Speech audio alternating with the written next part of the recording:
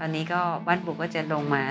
สู่ไลฟ์สไตล์ของคนมากขึ้นนะคะมากกว่าในภาพเดิมเนี่ยที่เป็นบ้านปูจะเป็นเรื่องของรายใหญ่ ๆ ทั้งนั้น ทั้ง energy resource energy generation แล้วก็ energy technology ความเป็นบ้านปู ความเป็นผู้ให้บริการด้านพลังงานเนี่ยก็จะอยู่ใกล้กับประชาชนมากขึ้น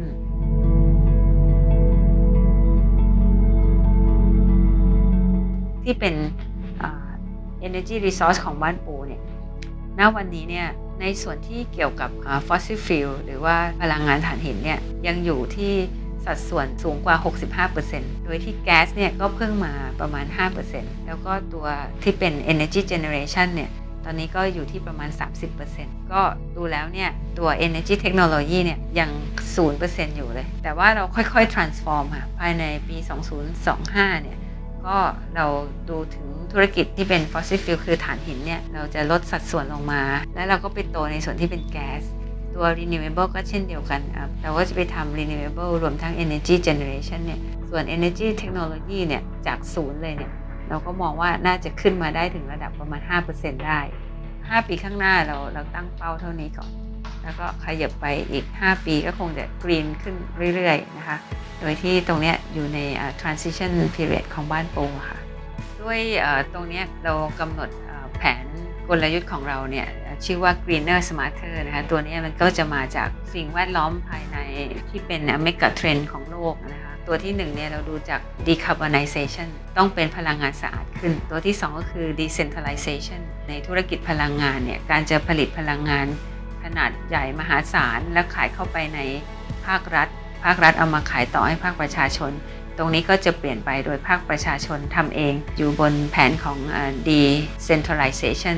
และตัวที่ 3 ก็คือ digitization ซึ่งแผนการทำงานกลยุทธ์การทำงานเนี่ยมันจะถูกปรับเปลี่ยนให้เป็นดิจิทัลมากขึ้น บ้านปูทำดิจิทัลทรานส์เมชันมา 2 ปีนะคะ ตอนนี้เนี่ยในหลาย ๆ process ในบ้านปูเนี่ย ก็นำดิจิทัลเข้ามาจับใช้ design thinking process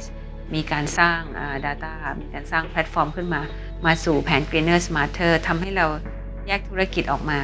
ก็คือ energy resource ประกอบไปด้วยถ่านหินและแก๊ส ความมั่นคงของธุรกิจแก๊สกับถ่านหินเนี่ยมีความมั่นคงสูงมาก เพราะว่าเป็นแหล่งพลังงานที่มองไปถึงปี 2030 2040 เนี่ยแก๊สก็ยังใช้อยู่ประมาณ 30%ของพลังงานโลก ส่วนถ่านหินเนี่ยก็ยังใช้อยู่ประมาณ 20%ของพลังงานโลกยังยังไม่ได้ศูนย์ไปนะเพราะฉะนั้นเรายังเกาะอยู่ในธุรกิจที่เป็น energy resource 2 ตัวที่เป็นตัวหลัก ก็ยังเติบโตต่อไปนะในอนาคตเนี่ยด้วยความที่โลกพัฒนาไปทางด้านดิจิทัลมากขึ้น การใช้แบตเตอรี่จะมีมากขึ้น เพราะฉะนั้น เราจะมีความชำนาญอีกส่วนหนึ่งก็คือการทำเหมืองที่เกี่ยวกับวัตถุดิบต้นน้ำที่นำไปผลิตแบตเตอรี่ พวกนี้ก็ยังเป็นส่วนหนึ่งของความชำนาญของบ้านปู ซึ่งเราก็จัดไว้อยู่ในส่วนของธุรกิจแหล่งพลังงานเช่นเดียวกันนะคะมาถึงตรงธุรกิจผลิตพลังงาน หรือว่า energy generation ตัวนี้จะเป็นธุรกิจที่ไม่เซนซิทีฟกับในเรื่องของภาวะเศรษฐกิจ หรือว่าาวะวิกฤตอะไรต่างๆ เพราะว่าในธุรกิจการผลิตพลังงานเนี่ยภาวะเศรษฐกิจยังไงคนก็ยังต้องใช้ไฟอยู่ work from home ก็ยิ่งใช้ไฟมากขึ้น ดังนั้นธุรกิจตรงนี้เนี่ยมันก็จะไปได้นิ่งๆนะคะบวกกับที่เป็นการผลิตไฟฟ้าจากพลังงานหมุนเวียน ตัวนี้จะเติบโตเร็ว ผลตอบแทนของพลังงานหมุนเวียนเนี่ยอาจจะน้อยหน่อยเมื่อเทียบกับโรงไฟฟ้าขนาดใหญ่ แต่ว่าเราสามารถเพิ่มจำนวนโครงการ ได้ได้เร็วกว่าโรงไฟฟ้าขนาดใหญ่ อันนี้เราตั้งเป้าหมายในเรื่องของธุรกิจพลังงานหมุนเวียนเอาไว้ที่ 1,100 เมกะวัตต์นะคะแล้วก็ตัวธุรกิจที่เป็นพลังงานเบสโหลดเนี่ยก็จะอยู่ที่ประมาณ 4,300 เมกะวัตต์ เพราะฉะนั้นโดยรวมแล้วเนี่ยบ้านปูก็จะอยู่ประมาณ 5,000 5,400 เมกะวัตต์เรื่องการผลิตพลังงาน แต่ว่ามันก็จะมาเชื่อมกับอีกธุรกิจที่ 3 น้องใหม่ของบ้านปูคือธุรกิจเทคโนโลยีพลังงาน ซึ่งตัวนี้เรายังมีแผนที่จะสร้างระบบโซลาร์รูฟนะคะเป็นโรงไฟฟ้าบนหลังคาเนี่ยประมาณ 500 เมกะวัตต์นะตอนนี้เราทำได้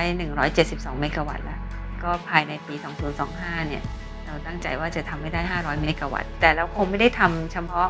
พลังงานบนหลังคานะฮะใน Energy Technology เนี่ยเราจะทำตั้งแต่ผลิตพลังงานสะอาด แล้วก็มาดีไซน์ ให้เหมาะสมกับความต้องการใช้ของลูกค้า โดยการที่จะเติมพวก energy vehicle เข้ามาเป็น electric vehicle จะเป็นรถสามล้อ รถสองล้อ หรือรถสี่ล้อก็ได้นะแล้วก็รวมทั้งเรือเฟอร์รี่พวกนี้ ตัวนี้จะเป็น